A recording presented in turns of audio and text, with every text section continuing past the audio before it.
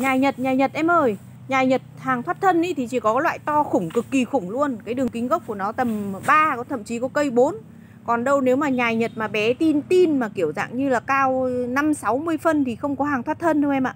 Còn đây cái này lô này thì chị cũng có nhiều. Cái ờ, gốc của nó thì bây giờ cũng to được bằng ờ, ngón trỏ Ngón trỏ của chị rồi.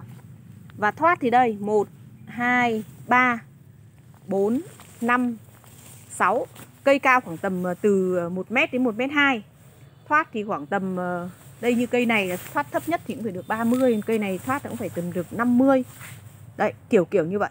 Cây thì rất đẹp luôn.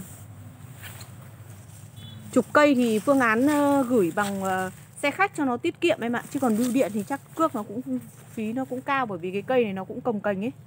Với cũng nặng, bầu đất cũng to